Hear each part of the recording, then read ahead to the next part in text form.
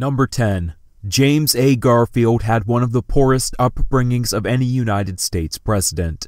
His father died when he was an infant, leaving him to be raised by a single and often penniless mother. He spent much of his youth fighting with his peers who bullied him for his status. One of his few escapes was reading. He continued to read as he got older, educating himself to eventually become a teacher, then a lawyer, and then enter politics.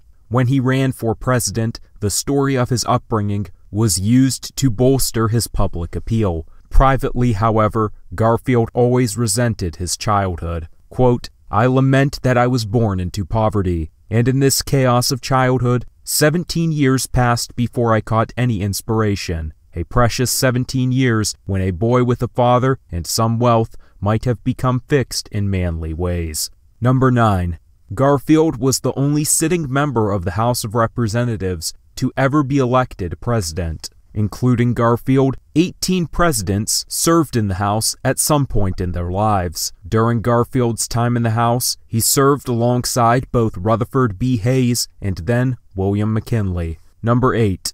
Garfield was the second American president to be assassinated. He's one of four assassinated presidents and one of eight to die in office. His term was only 199 days, the shortest presidency, second only to William Henry Harrison, who died after only 31 days. Number 7. Garfield is often ranked as one of the most intelligent presidents, often being ranked in the top 10 or even top 5.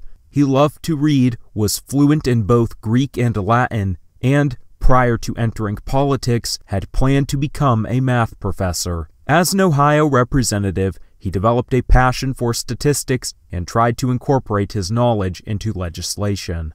Number 6. Garfield had five children who lived into maturity. Three of his sons had notable careers in their own right. Harry Augustus was a lawyer and public official. James Rudolph served on Theodore Roosevelt's cabinet as Secretary of the Interior, and Abram, the youngest son, was a successful architect. Number 5. Despite being from the same party as Abraham Lincoln, Garfield's support for Lincoln had often been begrudging. As a young representative, Garfield fell in with the radical Republicans who favored extensive reparations for the freedmen and harsh treatment of Southern whites. He found Lincoln to be far too moderate and even wanted him replaced for the 1864 ticket. In the years after Lincoln's assassination, Garfield's views of him softened, perhaps indicative of his own move to the more moderate wing of the party. Number 4. Garfield is the only president who had served as an ordained minister. In his early 20s,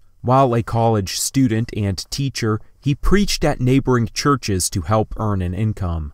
He also held revival meetings. However, he was never the official minister for any particular church. Number 3.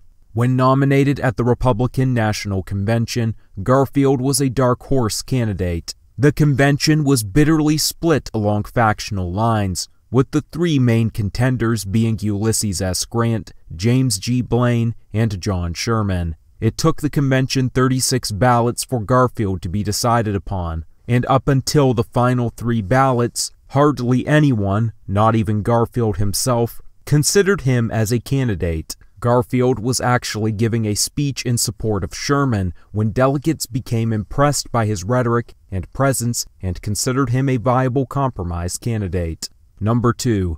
Garfield was a strong supporter of civil rights for African Americans. While serving as a young general in the Civil War, he didn't believe the war to be simply about preserving the Union, but to be a holy war against slavery. Because of his own upbringing, he empathized with the plight of freedmen left destitute in the South. By the time he became president, even Northerners had lost interest in helping the freedmen, yet Garfield still made it part of his agenda and even mentioned it in his inaugural address.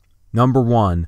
Garfield was mentored by Abraham Lincoln's Secretary of the Treasury, Salmon P. Chase. Both were radical Republicans, and as Chase had no son of his own, he treated Garfield like a surrogate son. He lived with Chase for a time, and the two regularly played chess together. Chase had always resented Lincoln, and some believe this influenced Garfield's feelings. For more videos like this, consider subscribing to the channel. To show your support and have your name featured in the credits, consider making a donation on Patreon of either 2 5 or $15 a month. Patreon link in the description below.